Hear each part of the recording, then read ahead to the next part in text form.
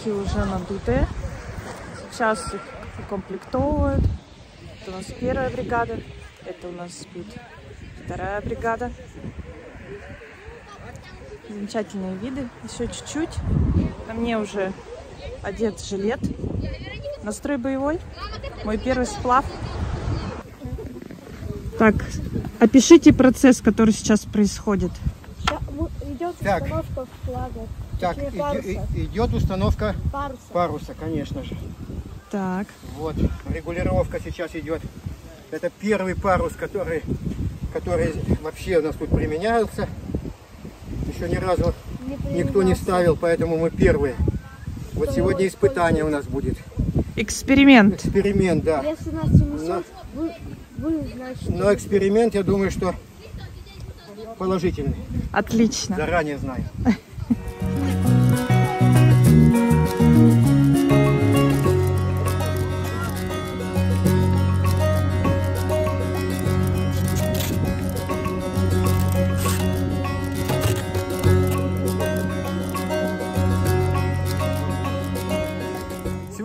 Сегодня 30 апреля 23 года, и этим сплавом мы открываем сплавной сезон. Мы так рано еще никогда не ходили. Вместе с молодежным центром Юг уже два года обсуждаем этот план. И вот, наконец, мы решились. И сегодня мы идем с остановками. Одна остановка у нас будет на ботаническом саду, это в Хакасии. И потом э, ночевка у нас на Ачурском быку. Или быке, как правильно говорить.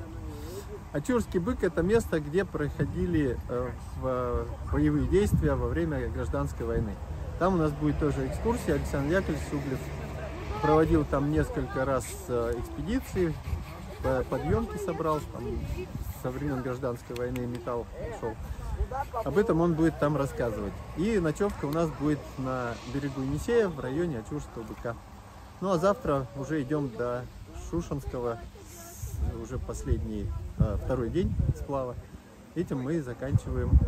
Ну а пока грузимся, сейчас техника безопасности и отчаливаем. Еще такой вопрос. А насколько сложно будет для новичка, вот как я, я первый раз сегодня буду сплавляться? Этот маршрут от Сизой до Шушенского мы э, водим уже много лет, наверное, уже больше 20 лет. И в нем участвуют э, дети, причем возраст э, не ограничен, если с родителями. Если идут дети самостоятельно, то не младше 10 лет. Вообще сплав очень э, простой. Единственное место, где есть небольшая опасность, ну и адреналин вырабатывается, это шеверы в районе Сеногорска. Когда идут новички, мы их обходим стороной, то есть мы в самую стремнину не заходим. Ну а для тех, кто уже небольшой опыт имеет, мы, понятно, проводим инструктаж, как проходить правильно пороги, шеверы, и э, большой опасности не представляет. У нас сегодня первый в этом сезоне сплав. И река спокойная, но э, Енисей, он тем и коварен, что расслабляются, начинают бродить с лодки на лодку, по, по воде до того берега. В общем, самое главное, все садятся, каждый в свою лодку, запоминайте свой экипаж, чтобы никого не потерять на остановках, когда будем выходить. Самое главное, чтобы спас-жилеты не снимали. Сегодня жарко не будет. Спас-жилеты, кроме того, что спасают от утопления, еще и греют хорошо. Это первое. Второе правило. В лодке не стоим. Всегда сидя или или на баллоне, или внутри. То есть сидим всегда не вставая, пока лодка идет, особенно когда пойдут у нас шеверы, это у нас единственное будет место э, достаточно экстремальное, мы в самую стремнину не заходим, не надо рисковать, сегодня вода очень холодная, примерно 8 градусов, поэтому, э, чтобы не заплескивало в, в лодке, шеверы проходим сбоку, где чуть-чуть только качает, на самый вал не выходим. Все, мы погрузились уже в лодку. Александр Яковлевич правит парус. Так, сейчас мы. Там Кирилл у нас. Сзади ребята у нас там. Поплыли.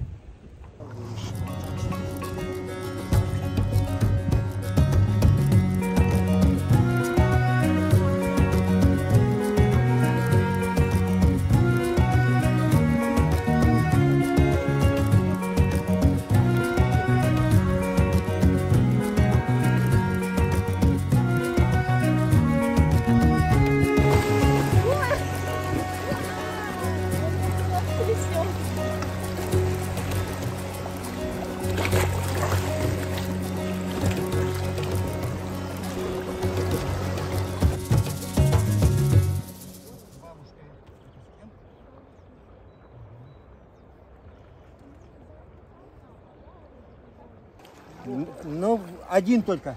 Еще второй не сделал, и руль еще не сделал. Так что вот. Хорошо плывете.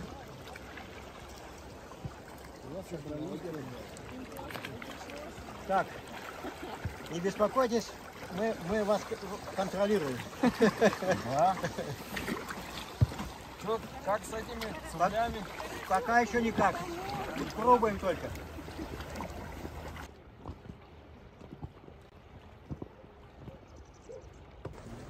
Итак, первое правило, которое я усвоила, это то, что нельзя бросать весло. Да. Весло всегда должно быть в руке. Ни при каких обстоятельствах, как сказал Тимур Джихатович, даже если кто-то вдруг почему-то решил выпасть из лодки, то мы все равно не бросаем ни в коем случае весло.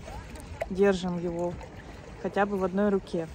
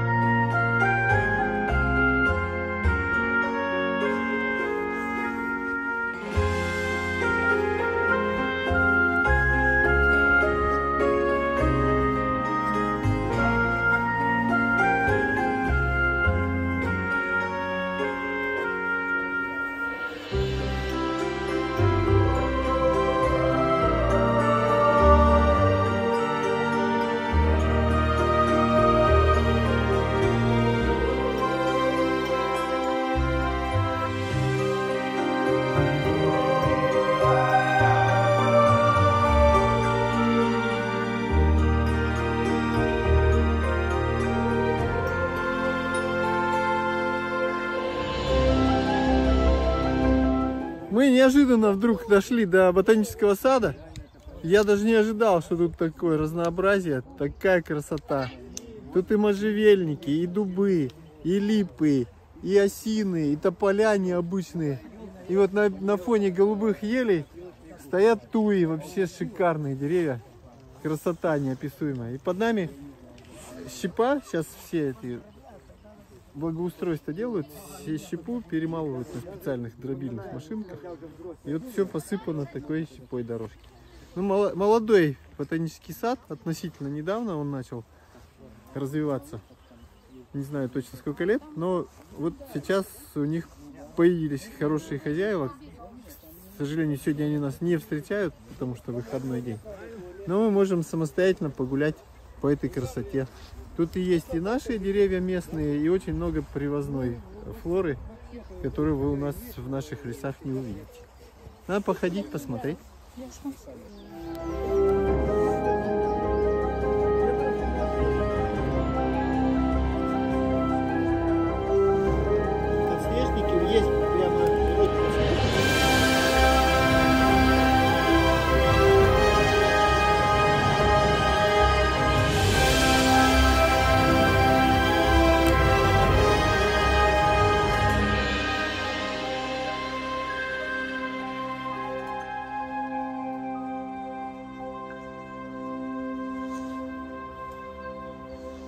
Сейчас держим путь.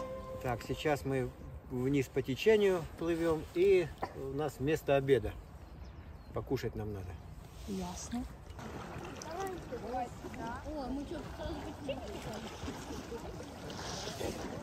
Там Слава запускать будет квадрокоптер, чтобы все в куче шли.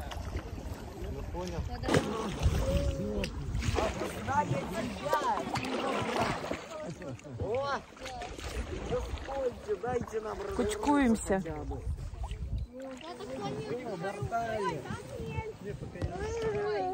На ш- шеверы проходим по отдельности. Ой, идут только садиться.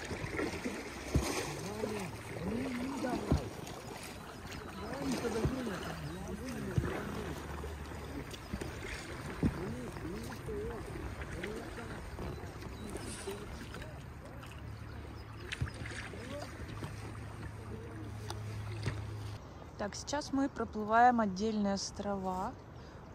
Справа от нас большой такой вот остров проплываем. И вот слева начинается.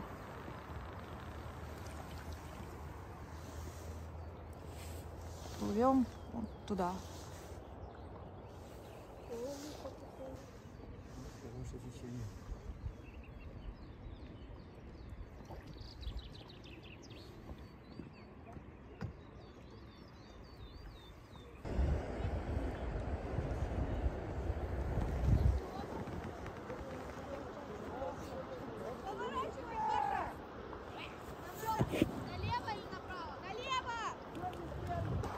Это единственная шевера здесь, более-менее серьезная такая. Поэтому вот самое большое волнение вот здесь будет, больше нигде нет. Везде Енисей дальше спокойно.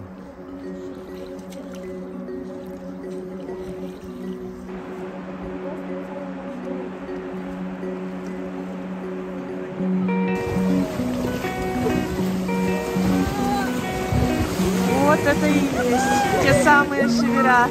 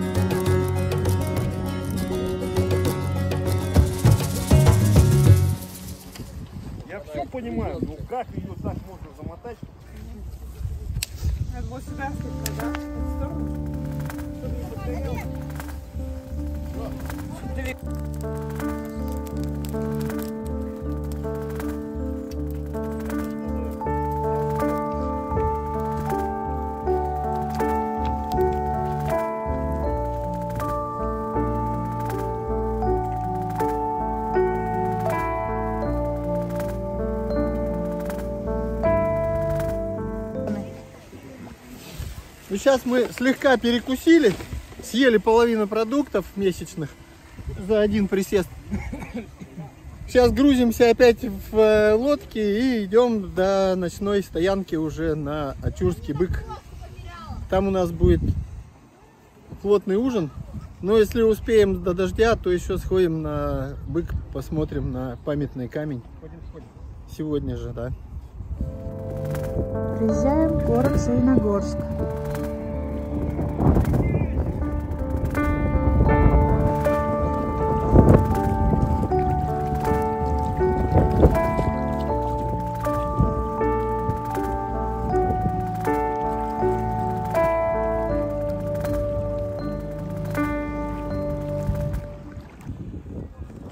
Цапля серая, она гнездится на деревьях. Вот вы видите сейчас около 10 гнезд, причем колония целая. Вот вон она серая цапля, вот садится, сейчас хорошо видно. на деревьях, возле гнезд сидят. Обычно они вдали от жилья, а тут напротив город Саяногорск. Вообще здорово, конечно. Прямо стоят там, прямо в гнездах.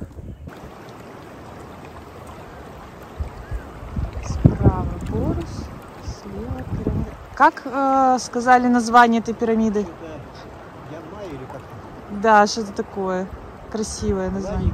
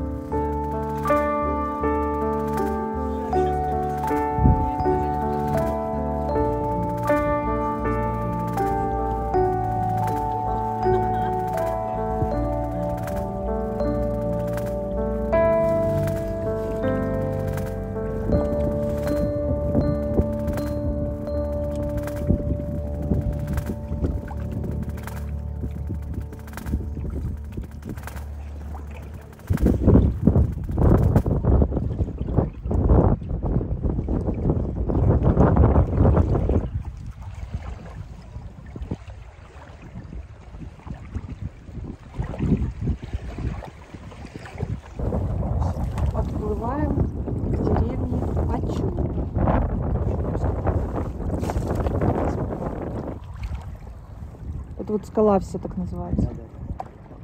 Шумерский бык перед нами.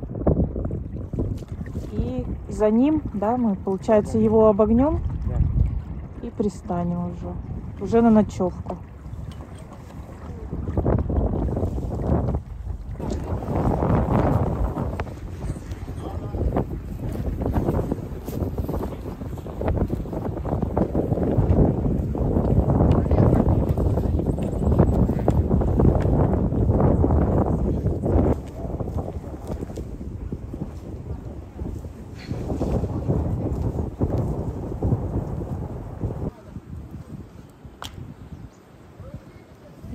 Идет установка лагеря, где мы будем ночевать. Здесь у нас будет костровище, ставятся палатки и большой шатер.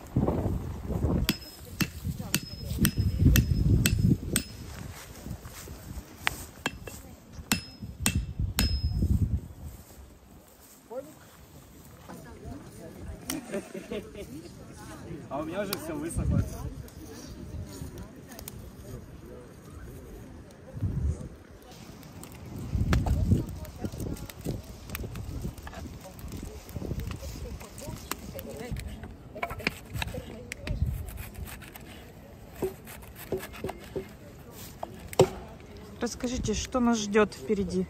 Вкусный борщ. Вкусный борщ. Да, наконец-то будет ужин. И мне не будет так жалко капусту строгать. Не плачь. Я очень сильно стараюсь. И кто-то очень близкий тебе тихонько скажет, как здорово, что все мы здесь сегодня собрались. Но песня остается теплом костра согрета, как здорово, что все мы здесь сегодня собрались.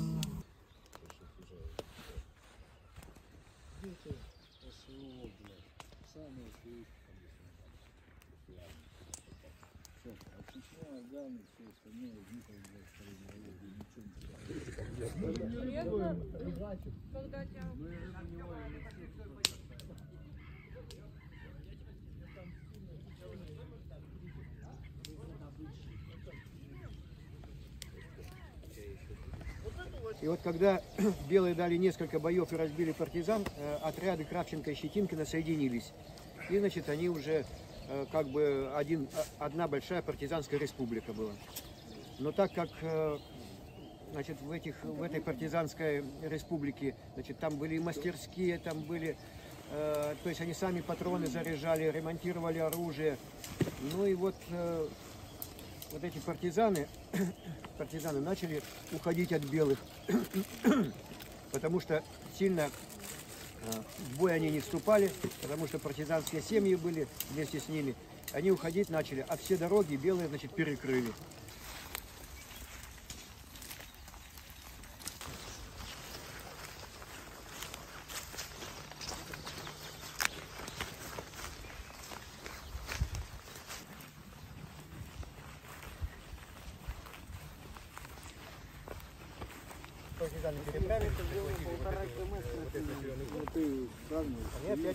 Как говорится, празднуют. К ним на помощь вот отсюда вот пошел целый отря- отряд белых. А они не знают, они там, значит, празднуют это все дело. И вот они когда увидели, значит, отсюда, значит, мальчишка прибежал, значит, сказал вниз, значит, что надо, идет помощь белым. А что, они, конечно, ни- ничего не успели. И вот они захватили их врасплох, и, значит, э, часть они порубили в домах шашками, а часть в тальнике. Они вот скопились возле речки, потому что переправиться они не могли. Ну, лод- Лодок всего несколько было, и они несколькими рейсами, когда наступали, на этих лодках переправлялись. А сейчас только успели те, кто в лодке первый запрыгнул сюда, и то две лодки потопили. И 30 человек туда переправиться, вот попробуй-ка на них напади, через воду начнешь переходить,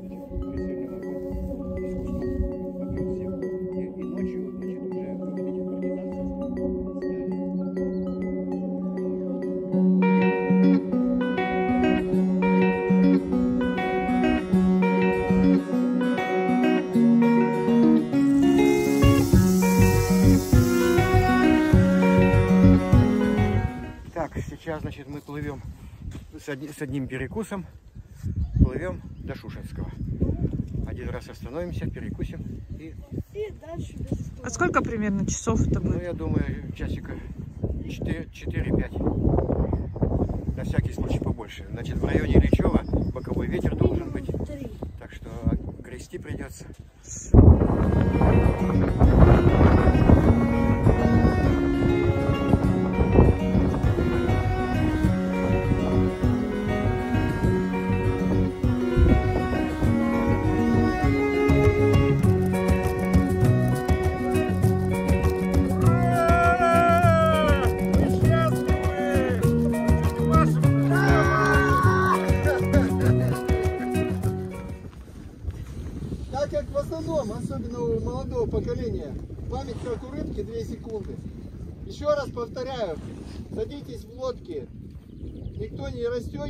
По бортам не бегаем, сидим и не встаем даже на ходу, никаких по- подъемов, вставаний нет, не должно быть.